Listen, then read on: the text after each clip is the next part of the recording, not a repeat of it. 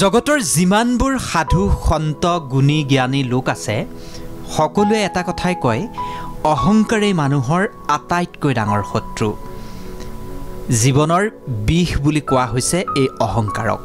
যিমানবোৰ সংঘাত আৰু কাজিয়া আছে তাৰ মূল কাৰণেই হৈছে এই অহংকাৰ। আমি স্বীকাৰো কৰি লওঁ এইবোৰ কথা কিন্তু আমি অহংকাৰৰ পৰা মুক্ত হ'ব পাৰিছোঁনে? মুঠেও পৰা নাই। অমুকটো কাম মই কৰিলোঁ মোৰ কাৰণেহে সম্ভৱ হৈছে মই নহ'লে একোৱেই নহ'লহেঁতেন মই থকাৰ কাৰণেহে হ'ল এয়াই অহংকাৰ।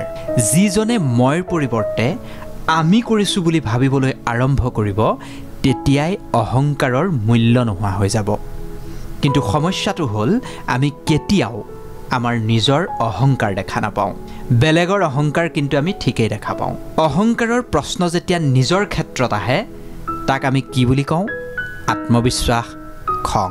আমি খং আত্মবিশ্বাস বুলি ভবাখিনিয়েই আমাক যে অহংকাৰী কৰি লৈ যায় আমি মানি ল'বলৈ টান পাওঁ। নকৰিব এনেকুৱা। ভুলতো নকৰিব। মনত ৰাখিব প্ৰয়োজনৰ ভিত্তিতেই এই সংসাৰখন চলি আছে। নিজেই ভাবকচোন এই ঠাণ্ডা দিনত ৰাতিপুৱা কেতিয়া সূৰ্য ওলাব কেতিয়া সূৰ্য ওলাব তাৰ অপেক্ষাতে থাকোঁ আমি। কিন্তু গৰমৰ দিনত তেনেকুৱা হয় জানো? গৰমৰ দিনত সূৰ্যটো ওলোৱাৰ লগে লগে খঙে আমাৰ চুলিৰ ৰাগ নাপায়গৈনে? অৰ্থাৎ আপুনি তেতিয়াহে মূল্য পাব যেতিয়া আপোনাৰ প্ৰয়োজন হ'ব। ঈশ্বৰেও সেইজনকহে কঠিন পৰীক্ষা লয় যিজনক তেওঁ সফলতাৰ শিখৰত আৰোহণ কৰাব বিচাৰে যাতে তেওঁ ঠেকা খাই সফলতা পায়। জীৱনত সকলো শেষ হৈ গ'ল বুলি কোনো কথা নাই। কাৰণ সকলো শেষ হোৱাৰ পিছতো এক নতুন আৰম্ভণিয়ে সদায় আমালৈ অপেক্ষা কৰে। জীৱনত যি কৰে কৰক কিন্তু সদায় এটা কথা মনত ৰাখিব অহংকাৰ নকৰি যদি সত্য পথেৰে আগুৱাই যায় তেন্তে ভগৱান সদায় আপোনাৰ লগতেই থাকিব। হেৰুৱা বস্তুৰ প্ৰতি দুখ কৰি লাভ নাই। আজি যদি কিবা হেৰাইছে তেন্তে তাতকৈ ভাল কিবা এটা পাবলৈ যত্ন কৰাটোহে মূল কথা।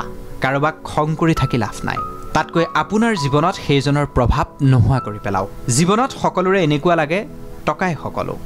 কিন্তু দিন বাগৰি যোৱাৰ লগে লগে অনুভৱ হয় টকাতকৈ দেখোন শান্তিহে বেছি দৰকাৰী। যিবোৰ মানুহ সৰু সৰু বস্তু লৈ সুখী হয় সেইবোৰ মানুহেই কিন্তু আটাইতকৈ বেছি হেপী হয়। গতিকে মই বৰ ভাৱ ত্যাগ কৰি সহজ হ'বলৈ চেষ্টা কৰকচোন। কাৰণ মই বুলি এই সংসাৰত একো নাই। শাস্ত্ৰতেই কৈছে অনন্ত কোটি ব্ৰহ্মাণ্ড হৰি অধিকাৰী অৰ্থাৎ অধিকাৰী এজনেই। অহংকাৰ এনেকুৱা এক শত্ৰু যি মানুহক একেবাৰে অকলশৰীয়া কৰি পেলায়। ক্ষন্তেকৰ সুখৰ অনুভৱ দিয়ে যদিও বাস্তৱত ই মানুহক কেৱল দুখৰ বোজা দিয়ে।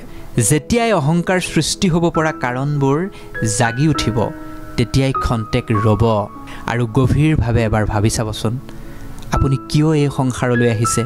কি লৈ আহিছে? কাক লৈ অহংকাৰ কৰিব আৰু কি লৈ যাব? তেতিয়াই আপুনি সকলো উত্তৰ পাই যাব আৰু অহংকাৰ তেতিয়াই নোহোৱা হৈ যাব।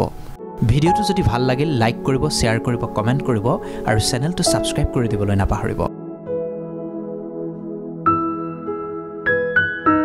ধন্যবাদ।